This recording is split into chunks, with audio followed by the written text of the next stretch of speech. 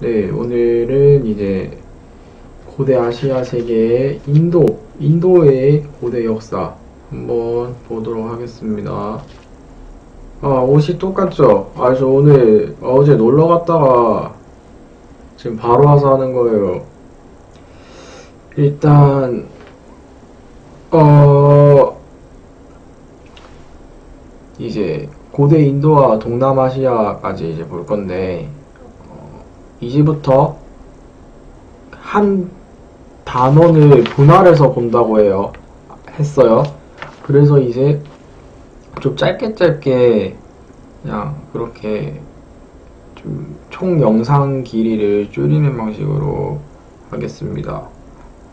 일단 어제 했던 거는 중국, 중국에 대한 이제 고대 중국 진, 진과 한의 중심으로 그리고 춘추 전국 시대 진, 한 이, 이세 시대를 중심으로 봤었는데 오늘은 이제 인도의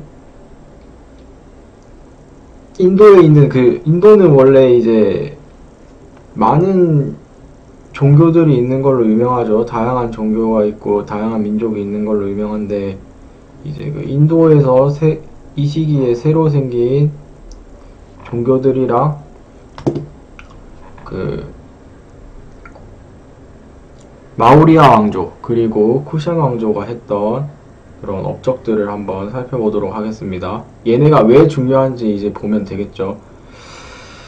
일단 먼저 도- 불교랑 자인화교의 출현이라고 교재 18페이지 보면 나와 있는데 음, 이제 그 불교랑 자이나교의 출현 배경 이제 크샤트리아 바이샤 계급 어제 아 저번에 이제 저번 수업 시간 때 설명했죠. 어, 브라만교의 이제 카스트제는 브라만. 크샤트리아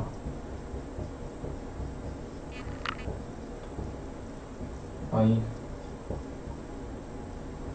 수즈라 이렇게 있는 거죠. 이 순서로 그냥 사제, 귀족, 평민, 천민 이렇게 이제 엄격한 신분 제도가 이제 힌두교, 힌두교를 좀 힌두교도 이제 그러니까 그 아리아인들이 만든 그 힌두교를 중심으로 한 이 그 시절에는 이게 이 종교에서는 이거를 이제 따르는 거죠. 힌두교가 이제 인도의 그 주요 가장 주요한 그 종교니까 이거를 따르는 거예요. 아직도 이게 인도 사회에서는 전반적으로 남아있다고 합니다. 뭐 일단 크샤트리아랑 이장 이제 이 중간 계층, 중상위 계층들이 이제 성장하면서 그 이제 브라만교에 대한 그런 불만이 생기는 거예요. 그래서 이제 형식화된 브라만교의 제사 의식을 반대했고 브라만 중심의 사회를 비판했다. 어쩔 수 없죠. 얘네 쪽수가 적을 수밖에 없죠. 제일 위에 있는 애들이. 얘네는 이제 뭐 다른 산, 산업적인 활동도, 활동들을 많이 하니까 아무래도 얘네 입김이 세졌겠죠. 이제 가면 갈수록. 사람이 많아질수록. 그리고 우파니샤드 철학이 등장하였다. 우파니샤드 철학이 뭐냐? 옆에 보면 설명이 나와 있어요.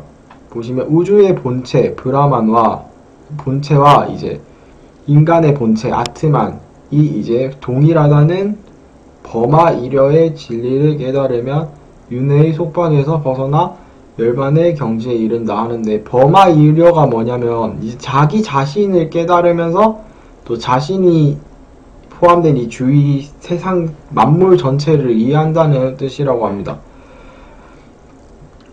그래서 이제 그 계층들 왕이나 귀족 이런 평민 계층들이 만든 게 이제 또 새로운 종교들이 있어요. 불교, 불교도 이제 여기 인도 끄트머리에 이쪽 네팔 쪽에 있는 그 왕국의 왕족이었던 그 고타마 시타르타가 이제 출가를 해서 만든 종교였죠. 이제 불교는 고타마 시타르타 이제 석가모니라고도 하고 우리 부처님이 이제 창시하셨고 인간 평등을 강조했어요. 당연히 이제 여기 인간의 계급이 있는 거랑 반대되는 생각을 한 거죠. 그리고 윤리적 실천을 통한 해탈을 추구하였다. 이제 아 살생 금지 뭐 이런 게 불교에 있는 그런 그 내용들인데 이제 그런 거 보면 이제 아 불교는 이제 나 나한테 떳떳한 거죠 이게 남한테 보는 이런 남한테 보이는 식으로 그런 게 아니라 그냥 윤리적 실천을 통해서 이제 해탈을 추구하는 이제 내가 착 공통적으로 불교랑 자이나 나중에 나오는 자이나교 이런 애들은 카르마라는 그 내용이 있는데 이제 카르마가 영인 상태면 최소한 그 영의 상태를 유지해야 되는 거예요. 더 좋은 일을 하면 이제 플러스가 되는데 살생을 하거나 안 좋은 일이 있으면 마이너스가 되, 되, 되겠죠. 그걸 이제 적어도 영의 균형을 맞춰줘야 되는 거예요. 그래야 이제 죄를 짓지 않은 상태인 거죠. 그리고 자인학교 살펴보면 엄격한 계율과 고행을 통한 해탈 추구. 근데 이게 너무 빡세서 실제로 많은 사람들이 믿고 있는 주류가 되는 종교는 아니라고 해요. 근데 이 종교는 자이나란 뜻이 승리자라는 뜻이라 하는데 일단은 창조자가 크샤트리아 출신이었어요. 귀족 출신인데 그 이 창조자가 단식을 하다가 그냥 죽거든요. 그러니까 자살을 한 거야. 그래서 이 종교는 특이한 점이 보통 종교들은 자살을 최대의 그런 그 걸로 보는데 이제 가장 큰 죄악으로 보는데 얘네는 단식을 해서 극단적인 상황으로 몰린 뒤에 자살을 한 거는 뭐 가장 큰 그 명예로운 그런 죽음이라고 본다고 합니다. 뭐 다르게 막 칼로 찔러서 죽고 이런 거 말고 단식해서 자기를 이제 최대한 극한의 상황을 만든 뒤에 죽은 사람들. 뭐 여튼 그런 뜻인 그런 이제 힌두교와는 다른 사상을 가진 그런 새로운 종교를 이 계급들이 만들기 시작합니다. 그 사이에 이제 기원전 4세기경에 이제 생긴 인도 최초의 통일 왕조가 생겨요. 마우리아 왕조라고 이 책에 나와 있죠. 마우리아 왕조는 알렉산드로스 원정군, 이 마케도니아 그 그리스 쪽에서 이제 그리스를 다 정복하고 그 정벌 활동을 활발히 했던 마케도니아의 아, 알렉산드로스 대왕이 이제 원정군을 끌고 와서 인도까지 침입을 했죠. 이게 이제 인도 사람들한테는 아 우리도 통일되는 왕국을 세워야겠다 이런 촉매제가 됐습니다. 그래서 기원전 4세기 경에 찬드라 굽타 마오리 마오리아가 통일을 하게 돼요. 북인도를. 그리고 전성기는 아소카왕 이 제국이 어, 어서오세요. 어, 오늘 생일 축하드립니다. 주한사거리님. 오늘, 아, 야, 오늘 생일이시죠? 네, 생일 축하드려요. 전성기는 이 3대째 아소카왕 시절이었는데, 아소카왕이, 음, 원래 2대 왕이 101명의 자, 자식이 있었대요. 근데 아소카왕은 얘네 다 싫어서 지 친동생 하나 남기고 99명의 형제들을 다 죽이고 자기가 왕의 왕이 돼요. 그 이복 동생들을 다 죽이고 나서 피를 많이 묻힌 왕이었어요. 처음에 아소카 왕은 또 정벌 활동을 남인도 쪽으로 이제 정벌 활동을 활발히 해서 음, 인도 제 그 마오리아 왕조의 최대 영역을 구가를 합니다. 그러니까 그 수많은 살생을 통해서 전쟁을 이기고 이렇게 해왔기 때문에 자기 한테 회의감이 든 거예요. 어느 순간부터 전쟁 고아들을 보면서 아우 내가 이렇게까지 살았나 내가 이런 죄를 씻을 수 있을까 이런 생각을 하고 있었는데 이 불교가 보인 거예요. 불교는 위에서 봤듯이 윤리적 실천을 통해서 해탈을 추구하는 그런 종교죠. 지금 우리 불교 생각하면 돼요. 살생 금지, 육식 금화. 우리 이제 대승불교 같은 경우는 육식까지 금하죠. 그래서 이제 불교를 받아들이게 돼요. 자기가. 원래 이게 또 재밌는 내용이 찬드라굽타는 일대 왕은 음, 자이나교를 믿었었고 이대 왕은 이제 힌두교도를 힌두교도였다고 합니다. 근데 그 손자, 아 그러니까 그 이대 왕의 아들인 아소카 왕은 불교에 기위를 해요. 불교에 기위하고 나서 불교를 공, 나라 공식 종교를 포교를 하, 기 위해서 이제 포교를 하게 됩니다. 불교를 포교하고 산치대탑, 석주 옆에 보면 산치대탑 사진 나오고 이 사료가 나오는데 산치대탑은 현존하는 가장 오래된 불탑으로 알려져 있다. 이렇게 불교를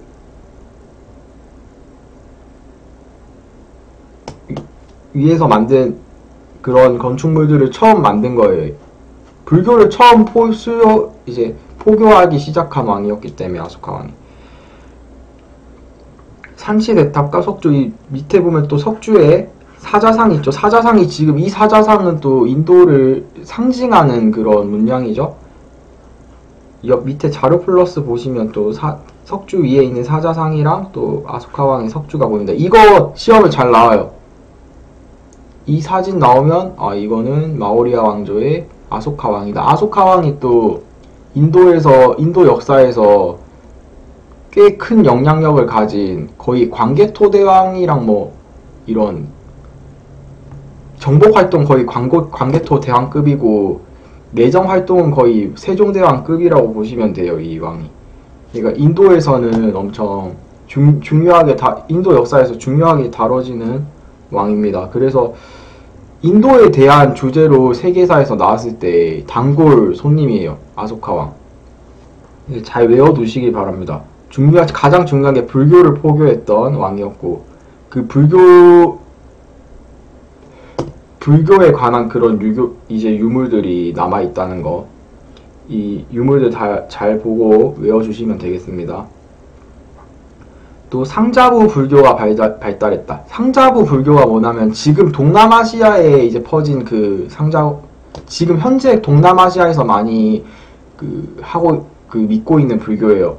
그 TV에서 보면 알겠지만 태국 애들 그 주황색 그 약간 이런 옷 같은 거 입고 뭐 기도하고 애들 어릴 때부터 거기 가서 기도하고 뭐 살죠. 근데 얘네는 육식을 허용해요 어느 정도. 음, 대승불교처럼 우리 절에 가서 비빔밥만 먹잖아요. 얘네는 이제 뭐 어느 정도 육식을 한다는 거. 뭐 일단 뭐 개인의 해탈을 강조하고 이게 또 동남아시아로 전파되었다. 어, 이 다른 이름으로 남방 불교라고도 합니다. 동남아시아 쪽으로 많이 전파가 됐기 때문에. 그리고 세태 이제 마오리아 왕조는 어, 4대가 끝이에요. 아소카 왕 밑에 이제 왕이 끝이에요. 아소카 왕 사후에 급속히 쇠퇴하여 또다시 인도가 분열이 됩니다. 음, 이때가 어, 기원전 음, 한 어, 기원전 1세기 정도 아 2세기 2세기 정도였습니다. 그리고 어, 밑에 자르 플러스 보면 아소카 왕은 생명체를 사랑하고 진실을 말하며 반용과 인내를 발휘할 것 등을 강조한 조칙을 써놓은 석주를 만들어 나라 안 곳곳에 세웠다. 석주 꼭대기에는 부처의 가르침을 뜻하는 법륜을 새겨놓고 사자소 등을 조각하였다. 어, 이렇게 생긴 거 보면 무조건 아소카 왕이 이렇게 어, 이 떡밥이 나오면 아 이건 아소카 왕이다. 아소카 왕이 했던 업적 이런 거 외우거나 아니면 이건 마오리아 왕조 이거 외우고 있으면 됩니다. 그냥 그 암기를 하는 식으로 외우기보다는 그냥 아 아소카 왕이 정벌 활동을 많이 하니까 그만큼 희생자들에 대한 그런 그 죄책감이 있으니까 그것 때문에 이제 불교를 불교에 기이해서 불교 포교 활동을 했다 이렇게 생각하면 어, 좀 더 외우기 쉽겠죠. 그 다음으로 쿠시안 왕조 한번 보겠습니다. 쿠시안 왕조는 어 그리고 마오리아 왕조는 이 영역이 최대 영역이 이거보다 더 컸어요. 실제로는 이쪽까지 뻗어 나갔는데 일단 마오리아 왕조의 그 영역은 이 정도 됐었습니다. 그 거의 인도 전 인도를 최초로 통일했다는 이르 그 업적만큼 꽤 크죠. 푸시안 왕조 다시 넘어가 보도록 하겠습니다. 푸시안 왕조는 어, 이란 계통의 쿠시안족이 건국했습니다. 이쪽 이쪽이 이제 파키스탄 지역 쪽 지금 어, 발전은 어떻게 발전했냐? 중국, 인도, 페르시아를 연결하는 무역로를 자랑, 장악했다. 이때 당나, 당시에 이제 중국이랑 여기 사이에 중국이 여기쯤에 있으면 여기 이제 뭐 이제 페르시아 계통 뭐 이런 애들 얘네랑 교역을 할 때 이 사이에 있으니까 중개 무역을 해서 발전을 했습니다. 뭐 또 전성기 때는 2세기에 카니슈카 왕 때 최대 영토를 확보를 했습니다. 그리고 학문과 불교를 장려했는데 이 불교는 대승불교예요. 대승불교는 만인, 만인 중생의 구제를 목표로 한다. 옆에 또 옆에 설명이 나와 있는데 보시면 많은 사람을 구제하여 태우는 큰 수레라는 뜻이다. 대승은 대승 불교는 모든 중생이 보살이 될 수 있다고 보고 자기만의 구제보다는 이타를 지향하는 보살의 역할을 이상으로 여겼다. 현재 우리 동북아 쪽에서 믿고 있는 대승 그 불교 계통이 다 대승 불교 불교 계통인 겁니다. 그러니까 대승 불교는 이 인도 북쪽에서 이렇게 중앙아시아를 거쳐서 중국에 가서 이렇게 한국이나 일본에 전파가 된 거예요. 그리고 삼자도 불교는 이렇게 동남아 쪽으로 전파가 된 겁니다. 근데 뭐 대승불교가 동남아에서도 주류였던 적이 있긴 합니다. 근데 지금 현재는 동남아에서 주류가 되는 거는 상자부 불교라는 거.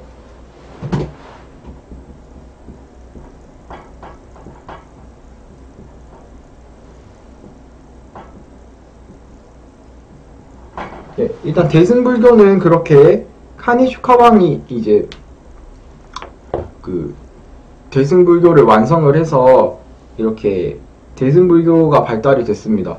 그리고 간다라 양식, 간다라 양식은 이제 우리 절에 놀러 가면 아 절에 놀러 간다는 표현보다 절에 이제 가면 그, 그 불상이 있잖아요, 다들 어디 가든 경주에 석 불국사에 석굴암도 있고 어디 가든 금으로 돼 있든 석재로 돼 있든 불상이 있잖아요. 이 불상이 이 인도 문화랑 헬레니즘 문화가 융합이 돼서 불상을 제작하기 시작하는 거예요. 이게 이렇게 생각하시면 돼요. 이거 불상 제작이랑 헬레니즘 문화랑 인도 문화의 융합을 따로따로 외우시지 말고 인도 문화랑 헬레니즘 문화, 헬레니즘 문화 나중에 뒤에 보면 아시겠지만 미, 밀로스 섬의 비너스상, 뭐 라오콘 군상 이런 것처럼 조각품 예술품들이 되게 많아요.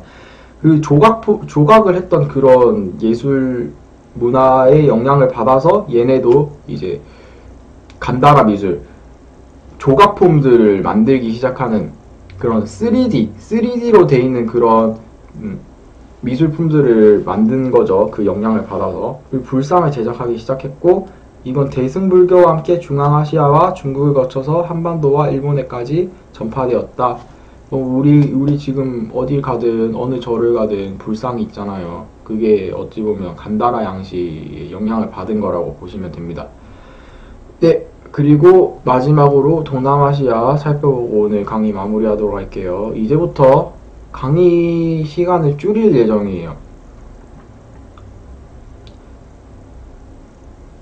동남아시아는 음, 크게 뭐 강조되진 않겠지만 책에 나오니까 혹시 모르죠.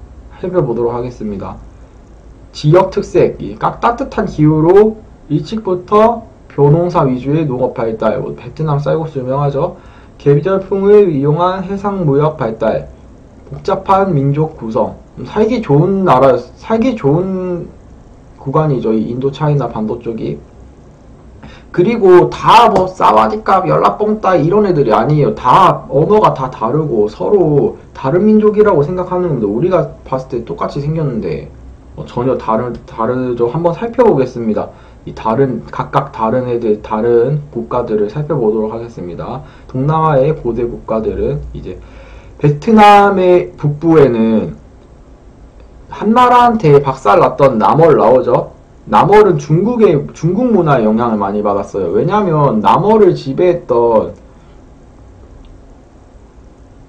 그 왕족들이 중국에서 넘어온 제후 출신이었어요. 우리 위만조선과 마찬가지로 남월도 중국에서 쫓겨오다시피 해서 여기를 여기 자리 잡은 중국 귀족 출신들이 자리 잡은 왕조가 남월이었습니다. 남월은 중국의 진 멸망 전후한 시기에 건국이 되었는데 나중에 한무제한테 정복당해서 오랫동안 중국 지배를 받았어요. 여기가 북베트남 지역이죠. 그리고 중, 중남부 지역, 베트남 중남부 지역에는 남월, 남월이 멸망한 이후에 나오, 이, 자리 잡은 참파라는 왕조예요. 참파는 말레이 계통의 참족이 건국을 했었고, 북베트남 일부랑 캄보디아까지 세력을 확장을 했었어요. 그리고 메콩강 하류, 메콩강 하류는 이제 그 더 밑에, 더 옆쪽에, 더 왼쪽 밑으로 내려오면 나오죠. 베트남 기준으로 해서 푸푸난이라고도 부르고 부남이라고도 부르는 왕조가 있네요. 이 왕조 역시 말레이 계통의 선주민이 건국해서 해상 무역으로 번영을 했다. 이 푸, 부남이 지금의 캄보디아예요. 중국 애들이 부남으로 불렸, 불렀던 거예요. 이 푸난이라는 왕조를. 지금의 캄보디아 지역에 자리 잡은 나라였습니다. 예. 오늘은 여기까지 강의하겠고요. 내일 고대 서아시아, 중동 쪽으로 넘어가 보도록 하겠습니다. 오늘은 여기까지 하겠습니다. 시청해주시는 분들 항상 감사드리고, 어, 재미없어도, 저도 재미없는 거 알아요. 나도 하면서 재미가 없어. 근데, 그냥, 이게 가장 제일 급한 사람들한테라도 그냥 한 명이라도 수강생 있으면 그 사람 위해서 해야 된다고 생각하기 때문에 그 하는 거예요. 나중에 잘 정제되고 잘 편집된 어떤 한 재밌는 주제를 가지고 역사 주제를 가지고 설명하는 그런 컨텐츠를 진행할 거니까 조금만 기다려주세요. 저도 머릿속에 구상하고 있는 게 많은데 어, 지금 실천을 못하고 있어서 자, 다른 걸 하고 있어요. 다른 일을 하고 있어서 지금 이거밖에 못하는 게 좀 답답하긴 한데 좀 이해를 해주셨으면 좋겠습니다. 어, 이 수업 내용이 도움이 되는 사람이 있으면 좋겠네요. 네, 이상으로 오늘 마치겠습니다. 감사합니다.